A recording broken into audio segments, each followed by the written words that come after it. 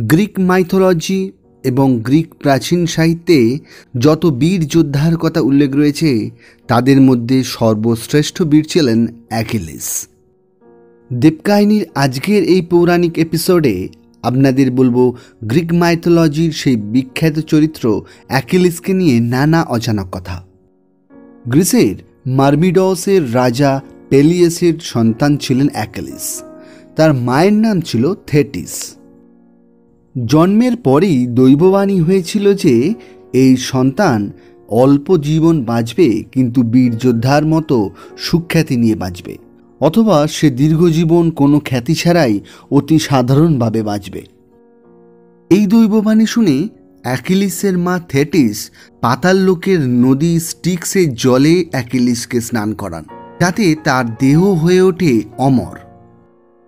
কিন্তু সেই জলে স্নানের সময় তার মা তার বাম পায়ের গোড়ালি ধরে জলের মধ্যে তাকে ডুবিয়েছিলেন। সেই কারণে অ্যাকিলিসের বাম পায়ের গোড়ালি বাদ দিয়ে বাকি সমস্ত দেহটাই হয়ে উঠল অমর। অ্যাকিলিস যাতে যুদ্ধ থেকে দূরে থাকে, সেই জন্য অ্যাকিলিসের মা অ্যাকিলিসকে রাজকন্যার পোশাক পরিয়ে রেখে এসেছিলেন স্কাইরোস নামে এক দেশের রাজার রাজকন্যাদের সঙ্গে। মা থেটিসের শত চেষ্টা সত্ত্বেও যুদ্ধ থেকে অ্যাকিলিসকে দূরে রাখা গেল না। এরপরই এলো গ্রীষ্মের ইতিহাসের সবচেয়ে চর্চিত যুদ্ধ, ট্রোজান যুদ্ধ। রোম সাম্রাজ্যের ট্রয় রাজ্যের রাজকুমার ছিলেন প্যারিস। তিনি স্পার্টার রাজা মেনেলাউসের স্ত্রী হেলেনকে কিডন্যাপ করে নিয়ে এসেছিলেন ট্রয়। সেই কারণেই ট্রয় এবং স্পার্টার মধ্যে যে দশ বছর ধরে যুদ্ধ হয়েছিল, সেই যুদ্ধই ট্রোজান যুদ্ধ নামে খ্যাত। গ্রীষ্মের বিখ্যাত যোদ্ধা ওডিসাস তিনি এক দৈববাণীর মাধ্যমে শুনেছিলেন যে ট্রয়ের যুদ্ধ তখনই যেতে সম্ভব যখন অ্যাকিলিস সেই যুদ্ধে গ্রীস সেনাকে সাহায্য করবে। তাই অ্যাকিলিসের খোঁজে অডিসাস এসেছিলেন স্কাইরস রাজ্যে। সেখানে তিনি মেয়েদের পোশাক এবং জুয়েলারি বিক্রেতা হিসেবে এসেছিলেন এবং তার বিক্রি সামগ্রীর মধ্যে তিনি রেখেছিলেন একটি বল্লম এবং একটি ঢাল। যখন অন্যান্য মেয়েরা সেই বিক্রেতার পোশাক এবং অলঙ্কার দেখছিল, তখন তাদের মধ্যে একজন সেই ঢাল এবং বর্ষা হাতে তুলে নিল।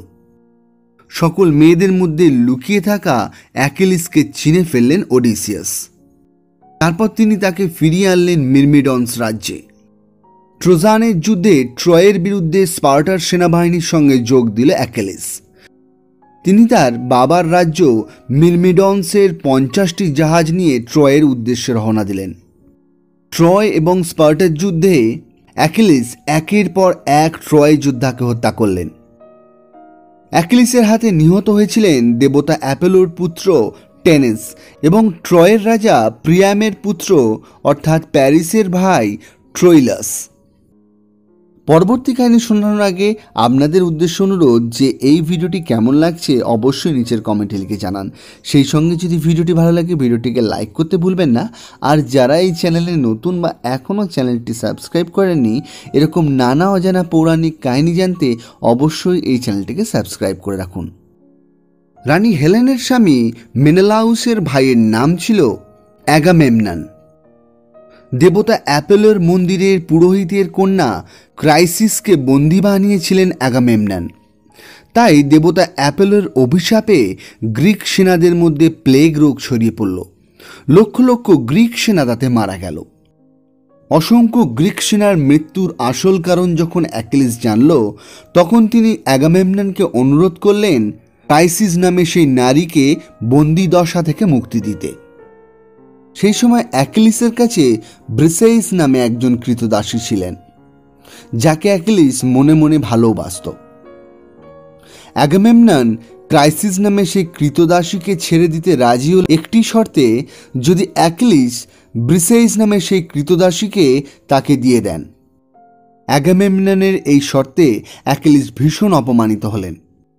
রাগে অপমানে তিনি সেই যুদ্ধ থেকে বেরিয়ে এলেন।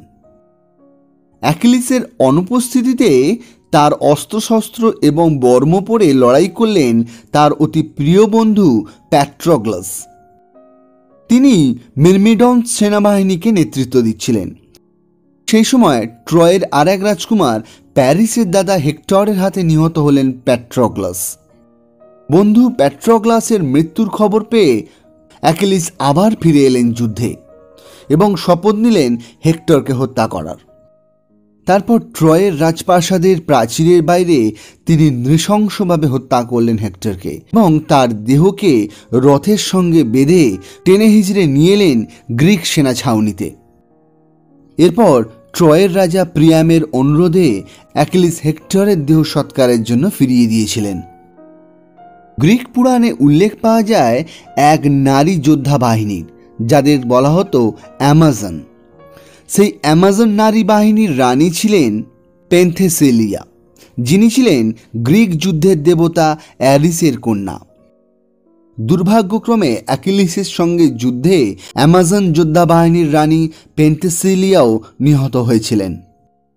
দশ বছর ব্যাপী ট্রোজানের যুদ্ধ যখন একদম শেষ মুহূর্তে ট্রয়ের পতন যখন শুধুমাত্র সময়ের অপেক্ষা তখনই অ্যাকিলিস ট্রয়ের রাজা প্রিয়ামের কন্যা পলিক্সেনার প্রেমে পড়েন। পলিক্সেনাকে বিবাহের জন্য অ্যাকিলিস রাজা প্রিয়ামকে প্রস্তাব দিলেন। রাজা প্রিয়াম সেই প্রস্তাবে রাজি ছিলেন, কারণ তিনি জানতেন অ্যাকিলিসের সঙ্গে পলিক্সেনার বিবাহ দিলে এই যুদ্ধের শেষ হবে। পলিক্সেনার সঙ্গে অ্যাকিলিসের বিবাহের মুহূর্তে রাজা প্রিয়ামের অপর পুত্র প্যারিস তিনি তীর দিয়ে আঘাত করলেন অ্যাকিলিসের বাঁ পায়ের গোড়ালিতে। শৈশবে বাঁ পায়ের এই অংশটুকু ধরেই মা থেটিস অ্যাকিলিসকে ডুবিয়েছিলেন স্ট্রিক্স নদীতে, যার ফলে বাঁ পায়ের গোড়ালি বাদ দিয়ে তার সমস্ত দেহই অমরত্ব লাভ করেছিল। আর ঠিক সেই দুর্বল জায়গাতেই আঘাত করলেন প্যারিস। আর অ্যাকিলিসের এই দুর্বল জায়গাটি প্যারিসকে চিনিয়ে দিয়েছিলেন দেবতা অ্যাপেলো। প্যারিসের এই তীরের আঘাতেই শেষ হলো প্রাচীন গ্রীসের সবচেয়ে আলোচিত এবং সর্বকালের সেরা যোদ্ধার জীবন। অ্যাকিলিসের পায়ের এই দুর্বলতম অংশ থেকেই মানব শরীরে গোড়ালির কাছের পেশিটির নাম হয়েছে অ্যাকিলিস টেন্টন।